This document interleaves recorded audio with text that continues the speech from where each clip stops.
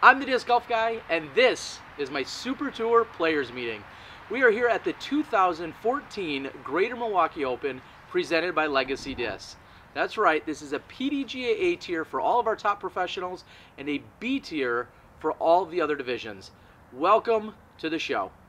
We're going to go over a few rules, a few details for you guys, and we'd like for you to go ahead and re-reference this anytime, whether you're out on the course or you have any other questions or you're driving from course to course. Hopefully this video will provide all the answers that you're looking for. Of course, we've got to thank all of our amazing supporters and sponsors, including our presenting sponsor in Legacy Discs. They have helped to put together an amazing players package for you guys, which not only consists, consists of some pretty sweet discs, you're also going to get your hands on some of the legend plastic. Hats, discs, you name it. Also, Legacy shirts. Brand new, just released Legacy shirts uh, we hope that you enjoy them. And of course, that brings us right to Miles Parkhill over at Paragon.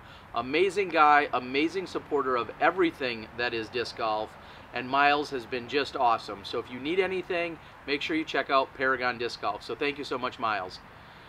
We also have some uh, other sponsors in the Great Lakes Disc Golf Club, also Riverside Disc Golf Shop, Johnny Rumble, and the entire Pecunia family, as well as Mark the Shark Peterson, along with the Great Lakes Disc Golf Club. So thank you to all of our amazing supporters and sponsors.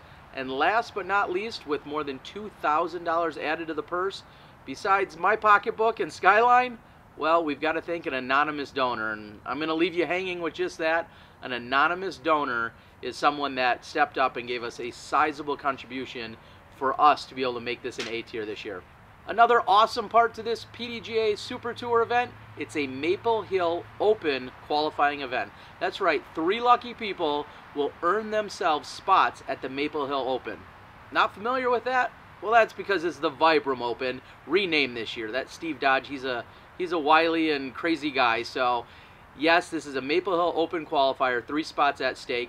If you're interested in becoming uh, one of those people eligible, make sure you see me before Saturday morning's round and give me the $10 qualifying amount, and you also then could have your chance to earn your way into the Maple Hill Open. So you're probably asking, where do I check in for this amazing event before it gets started? Come on out to Dretzka Park on Friday from 4 to 8, and you can get checked in at that point maybe even has first dibs at some of those sweet legend line discs or some of the other sweet items in the players pack. So come check in from 4 to 8 on Friday night at Dretzka Park. That is the park that hosts both Dretzka Original as well as Dretzka New. If you can't make the check in there, that's fine. Just go to your course on Saturday morning, find yourself on whatever hole you're on, and you're good to go. If you didn't get your player pack at that point, come on over to Dretzka, whether it's Saturday afternoon, Saturday evening, and uh, we'll get you all taken care of then. Again, 4 to 8 on Friday, or you can just do it after your round uh, once the event is already started. Tee off. We are going straight to a tee at 9.02 both days. At, at 9.02 we will be teeing off. That means we'll have a two minute warning at 9 o'clock and at 9.02 we will have our tee off. That's both days, both Saturday and Sunday. Just be on your tee. No player meeting.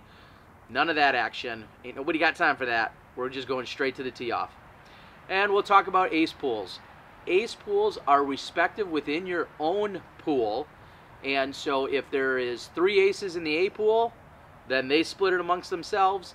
Aces in the B pool split it amongst themselves. And aces in the C pool split amongst themselves. There's going to be lots of opportunities for aces out there all aces split all weekend, but that's within your pool.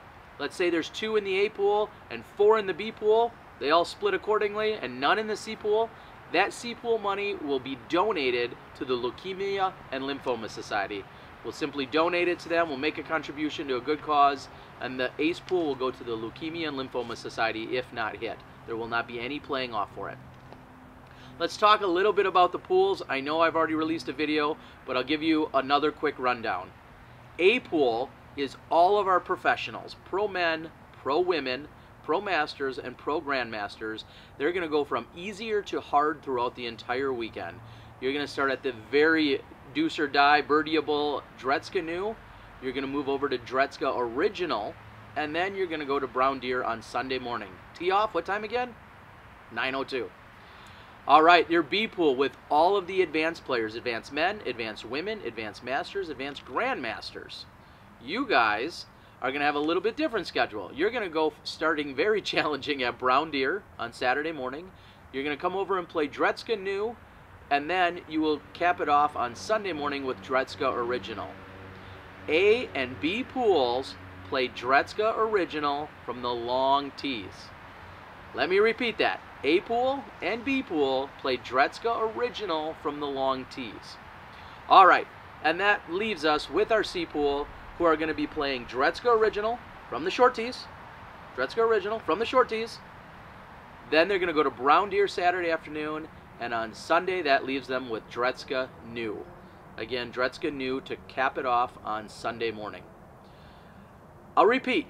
A pool and B pool will play from the long tees at Dretzka Original. Both Dretzka New and the Corset Brown Deer only have one set of tees, so you'll be playing from all be playing from those. But at Dretzka Original, you play from the long tees in A and B, and you play from the short tees in C.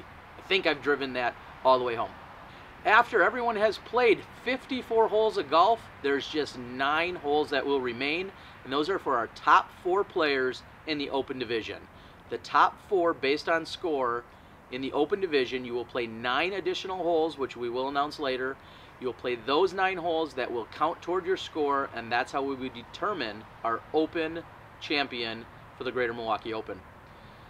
Just before we have that, we're going to have a brief Hall of Fame induction ceremony, a very special honor, a very special occasion. Eh, it may or may not be a secret to you, but there's a hint in this video if you're really watching. But anyway, come on out, please support. We're going to have a very brief Hall of Fame induction ceremony just before the final nine kickoff. Uh, we want you to be there. We hope that you enjoy it and support our Hall of Fame inductee. Course rules are pretty straightforward for having three different courses. First and foremost, on or over the road, a paved road, is in fact out of bounds. That applies at all three courses. It can happen at all three courses. On or across roads are considered out of bounds. All water that you find on the course in any of the three courses is casual water. Check your book, but you should know you can play up to five meters directly behind in a casual water situation with no penalty stroke. It must be directly in line with the basket and your mini has to be directly in line. It's not off to the sides, left or right, like an OB situation. It's directly behind up to five meters with no penalty stroke. We've got just two Mandos on the course. You're going to see that over on hole five of Dretzka New. If you miss that Mando, you, you take a penalty stroke and you're going to just simply re-tee from there. You almost have to try to miss that Mando. So unless you're trying to get crazy and take a route, um, you shouldn't miss that. But there is a Mando on hole 5. Penalty stroke and re-tee. Hole 15 of Dretzka Original, this applies to both A and B pools. There, it's a little bit different. If you miss the Mando, which is the light pole, and you need to go left of the Mando, if you miss the Mando on hole 15, you then proceed to the short tee, and you play from the drop zone there, which is the short tee. You get a one-stroke penalty from the short tee, and you play from there.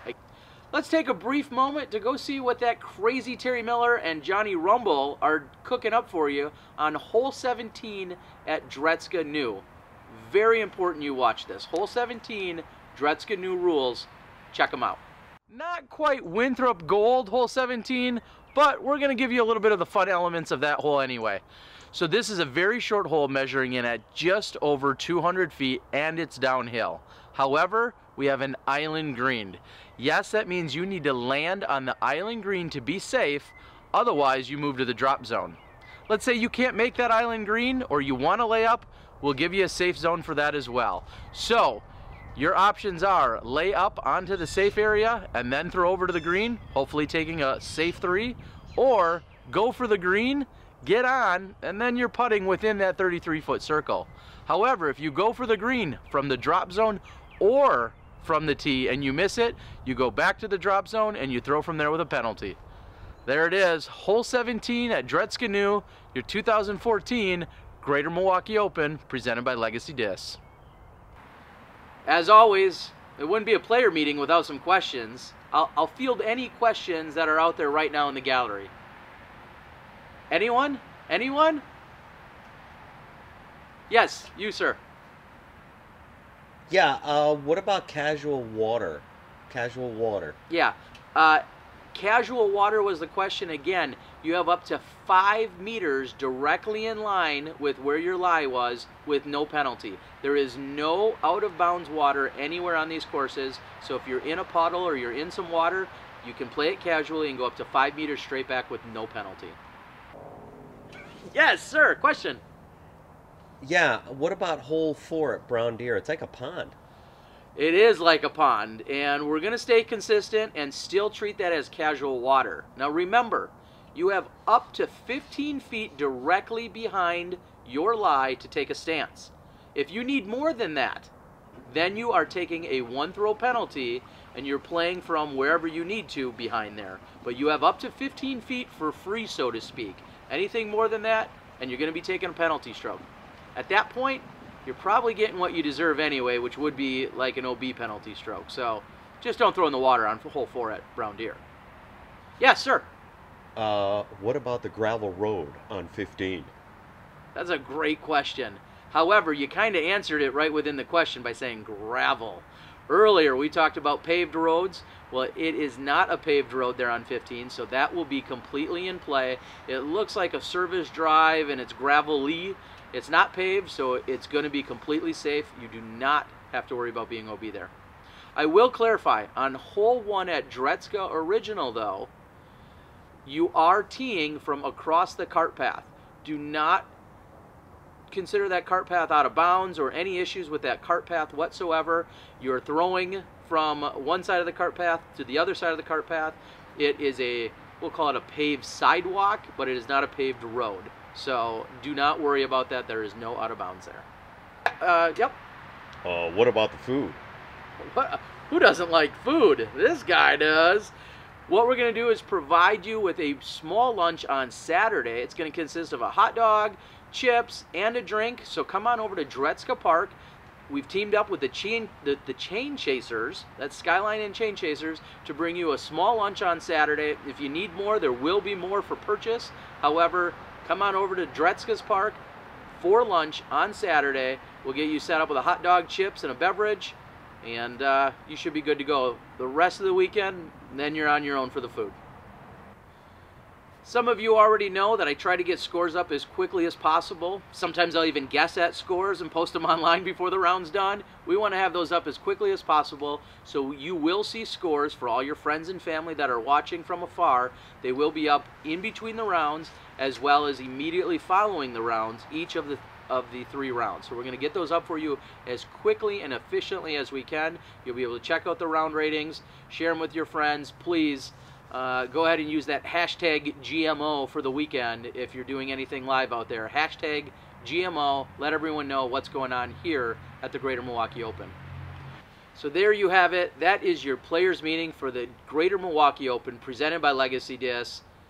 As they say, play with confidence.